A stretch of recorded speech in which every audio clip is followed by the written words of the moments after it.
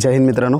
मित्रांनो बऱ्याच दिवसापासून ज्यांनी मुंबईला फॉर्म भरलेले त्यांचे मेसेज येत होते की सर ग्राउंडचे अपडेट काय आहे? अजून हॉल तिकीट आलेलं नाही. ग्राउंड कधी होईल?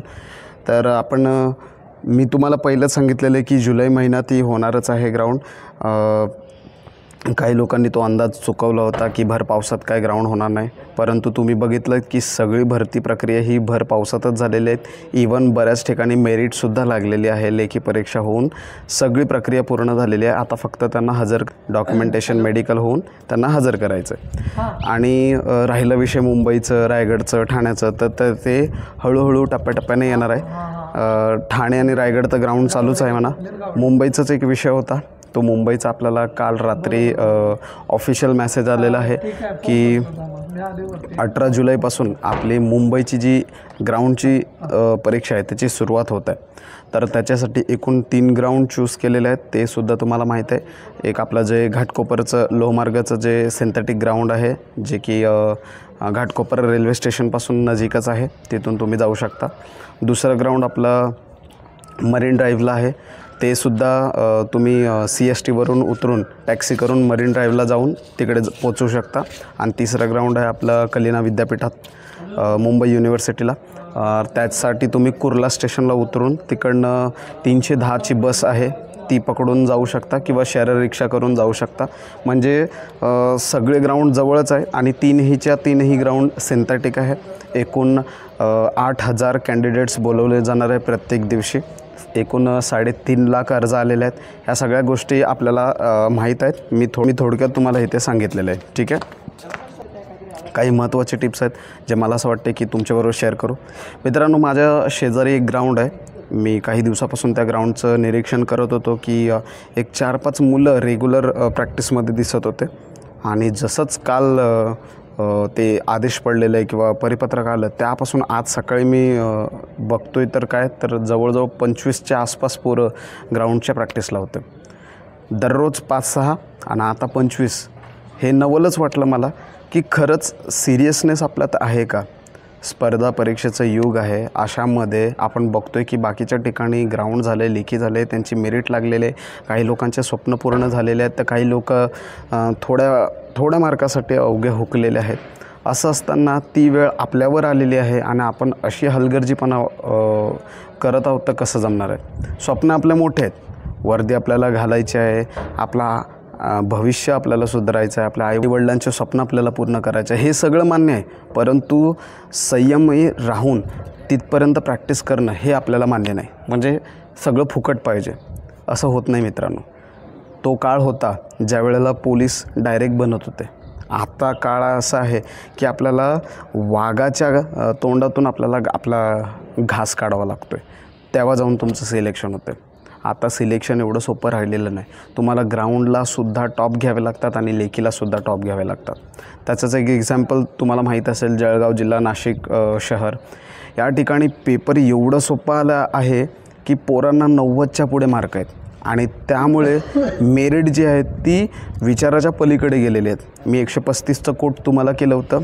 तिथे कुठेतरी एकशे सदतीस मेरिट गेलेली आहे. आणि ह्या मेरिटमध्ये किंवा ह्या सोप्या पेपरमध्ये फायदा कोणाला झाला माहिती आहे का? ज्यांचं ग्राउंड जास्त किंवा टॉपचं होतं त्यांना खूप जास्त फायदा झाला. कारण माझं समजा आता ग्राउंड पस्तीसचं आहे आणि तुमचं ग्राउंड पंचेचाळीसचं आहे. दोघांना जर लेखीला नव्वद मार्क मिळाली तर आपण पस्तीस आणि पंचेचाळीस या दहा मार्काच्या डिफरन्सने आपण मागे ठरलेलो आहोत. ओके आणि जळगावसारखं किंवा नाशिक शहरसारखं नाशिक ग्रामीणसारखं ह्याचं जे पेपर आहेत ते तुम्ही बघा. शंभरापैकी शंभरसुद्धा पोरांनी घेतलेले आहेत. ओके तर आता काही महत्त्वाचे टिप्स मी तुम्हाला मुंबईला सांगतो आहे सर्वात पहिलं आणि सर्वात महत्त्वाचं टिप म्हणजे एक की तुम्हाला आहे ना कोणत्याही परिस्थितीत ग्राउंड हा वाढवावाच लागणार आहे. पहिली गोष्ट तर सिंथेटिकवर आहे तर त्यामुळे तुमचा सोळाशे आणि आठशे मीटरचा काहीही प्रॉब्लेम होणार नाही. भर पावसातसुद्धा तुम्हाला किंचतही फरक पडणार नाही. तर तुम्हाला सोळाशे आणि आठशे मीटरमध्ये चांगले मार्क घ्यायचे आहेत. त्यानंतर शंभर मीटर पर सिंथेटिकवरच आहे त्यामुळे तोसुद्धा तुम्हाला फायदा होईल.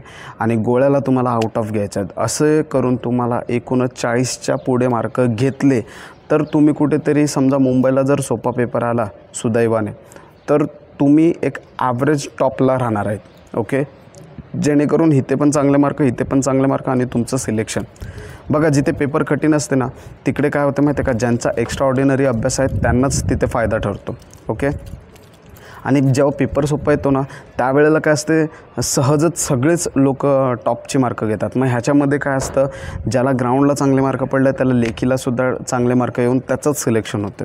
परंतु पेपर जेव्हा अवघड असतो ना त्यावेळेला तुमचं ग्राउंडला कमी मार्क असलं तरी ते चालते. कारण माझ्यासाठी एक एक्झाम्पल आहे एक एक्झाम्पलवर समजवतो. मला ग्राउंडला त्रेचाळीस मार्क होते आणि राजेश दळवी सरांचा जो मी इंटरव्ह्यू घेतलेला त्याच्यात त्यांना अडतीस मार्क होते. म्हणजे एकूण पाच मार्काचा डिफरन्स होता. तोच त्यांनी कवर कुठे केला? लेखीमध्ये. मला लेखीला ब्याऐंशी पडले तर त्यांना अठ्ठ्याऐंशी पडले. तर एक मार्काने ते पुढे गेले. पण तेच जर पेपर सोपं असतं तर मात्र इकडे माझं सिलेक्शन पहिलं प्राधान्य असतं. कारण त्यांना ग्राउंडला कमी मार्क होते. मला ग्राउंडला पाच मार्काची लीड होती. तर सांगायचं तात्पर्य एवढंच की मित्रांनो पूर्ण जोर लावा. जेवढं तुम्हाला शक्य होईल तेवढं जास्तीत जास्त चाळीसच्या पुढे जाण्याचा तुम्ही सगळ्यांनी प्रयत्न करा. महिला असो पुरुष असो होमगार्ड असो स्पोर्ट्स असो कोणतीही कॅटेगरी असो सगळ्यांनी चाळीसच्या पुढे जाण्याचा प्रयत्न तुम्हाला करायचा आहे. ह्याचा फायदा तुम्हाला लेखीसाठी होणार आहे. ठीक आहे? तर टीप नंबर ही एक होती. दुसरं आहे की तुम्ही आता बघा शेवटचा दिवस आहेत एकूण तुम्हाला पाच दिवस बाकी आहेत तर तीन दिवस तुम्ही जास्त प्रॅक्टिस करण्याकडे लक्ष देऊ नका. थोडंसं बॉडी मसाज त्यानंतर बॉडी कुलिंग स्विमिंगला जाणं या सगळ्या गोष्टी जरा करा जेणेकरून तुमचं शरीर बऱ्यापैकी कवर झालेलं असेल आणि तुम्ही बेस्ट ऑफ बेस्ट मार्क देणार. आता ह्या पाचच्या दिव ह्या पाच दिवसात तुम्हाला एक्स्ट्रा प्रॅक्टिस करून काहीही मिळणार नाही. ठीक आहे? दुसरं टिप तुम्ही पावसाच्या तयारीनेच जा सगळं. म्हणजे तिकडे तुमचे हाल होता कामा नये. असं सगळं वातावरण आहे की मुंबईला तुम्हाला माहीत आहे की भरपूर पाऊस आहे. तर तुम्ही ती सगळं नियोजन व्यवस्थित डॉक्युमेंट्स घेऊन जाणे छत्री घेऊन जाणे किंवा रेनकोट घेऊन जाणे ह्या सगळ्या गोष्टी तुम्हाला व्यवस्थितरित्या फॉलो करायचं आहे. आणि जास्तीत जास्त ग्राउंडला मार्क काढायचा हा एक एकच उद्देश तुम्हाला घेऊन जायचं आहे पुढे. ठीक आहे? मुंबईच्या पेपराला कशी तयारी करायची ह्यावर मी तुम्हाला एक व्हिडिओ सांगेलच. ह्यावर मी एक मार्गदर्शन व्हिडिओ बनवेनच. तोपर्यंत मला बघू पण द्या की मुंबईला कसे मार्क पडतात जेणेकरून आपल्याला एक अंदाज लावता येईल लेखी संदर्भाचा आणि एक मेरिट संदर्भाचा. तर कोणीही मुंबईची मेरिट किती लागेल हा सिली प्रश्न विचारू नका. कारण त्याचा निर्णय जो आहे तो ग्राउंड आल्यावर आपल्याला कळत असतो की कोणाला किती ग्राउंडला मार्क पडत आहेत ओके? तर अशा प्रकारे तुम्ही जर तयारी केली तर मला असं वाटतं की मुंबईला तुम्हाला चांगले मार्क घेऊन तुमचे कुठेतरी मुंबई पोलीस होणं हा स्वप्न पूर्ण होऊ शकतो. तरी तुम्हाला काही अडचणी असतील तर तुम्ही मला मेसेज करू शकता. आपण कॉमेंटद्वारे तुमच्यावर चर्चा करूया. ठीक आहे? Thank you. जय हिंद.